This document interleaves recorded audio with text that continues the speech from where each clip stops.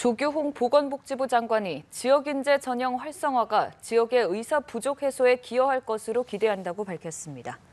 조 장관은 오늘 부산시청에서 지역 필수 의료 혁신을 위한 지역 순회 간담회를 열고 의사들이 지역에 머물며 기여할 수 있는 제도적인 장치를 검토하고 있다며 이같이 말했습니다.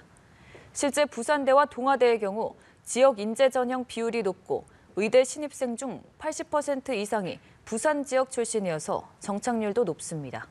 지역 인재 전형 활성화 방안은 여당 내에서도 논의가 되고 있는 만큼 교육부 등 관계기관의 협의를 거쳐 구체화될 것으로 보입니다.